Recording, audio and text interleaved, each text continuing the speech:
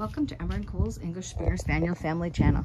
So today I'm just going to give you a quick update on Cole after his neuter surgery at age 11 and 3 quarters. So we're at the two week update here.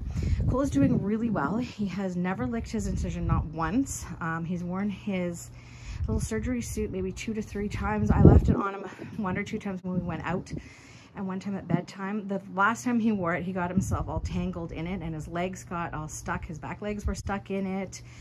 Um, I think they fit him to a little bit too big a size, which was too bad.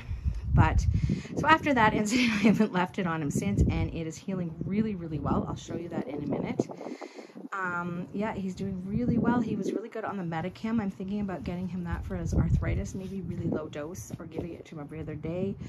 Um, I got to phone the vet and get that done um, just because he seemed to be, he's a little stiff in his back and that seemed to be helping a lot. He hasn't been on it, but he's still been really doing well.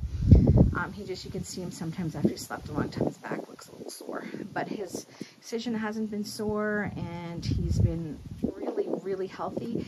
He still has his hernia. You can see on his bum a little too much here, but his even his back end here looks, this was all inflamed in here and really huge and it's decreased. Everything's doing really, really well. I'll show you, I can feel his incision under here. I can still feel the stitches, but it's doing amazing. Here, I'll see if he'll let you see it just a sec. Hey, mommy's gonna be rude again. We'll just give him a quick look. There he is. Well, he's got a little sore, looks like a bug bite got him or something here. Pull that off. Maybe it was a strawberry. It was something berry.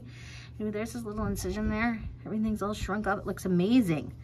Barely even noticed it was done. Anyways, and everything looks good back here. He's doing amazing, buddy? He says, Mom, you're so rude. I'm so sorry. You're a good boy. So during all of this, it's been two weeks since his surgery. Ember came into heat a week ago. So she's on around day seven, day eight maybe even a little further. She didn't really start spotting until about a little over a week ago. But um, Cole has noticed a few times, but as you can see, he's not bothered. I'm going to give you a little update about that in a bit as well. But anyway, so far, um, this neutering right away, he still will sniff her bum and be interested, but it's not the same need he had. Um, before, however, I just saw him jump on her, but no, there's no, been no crying, no squeaking any of those things. A few times he's chased her around the house, but so far uh, we haven't had any issues and it's just fresh neutering. So I would assume by the next time she comes into heat, it'll be better, but you know, he knows about it and he knows the smell and I don't think any of that can be forgotten.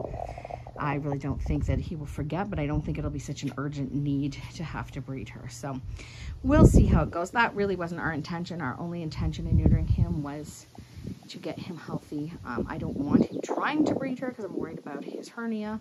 The prostate, I think, is shrinking every day, and uh, I think we'll see even more improvements over the next couple months. But this is our two-week update, and we're going to take them swimming. Ember and Cole have not been in the river once. Ember has been in down by my sister's, um, but they haven't been out here in Orleans together swimming at all. So hopefully now he's cleared to swim, so we'll take him for a swim this weekend, and uh, we'll see how it goes. Thank you for watching Ember and Cole's English Springer Spaniel channel. And we'll have an update soon on Ember's heat. We'll keep tracking this next week because the breeding week and we'll see how Cole does. We'll show you what happens when you neuter even an older dog um, that's living with an intact female. Thank you so much for watching. Please take care. Please subscribe. Bye.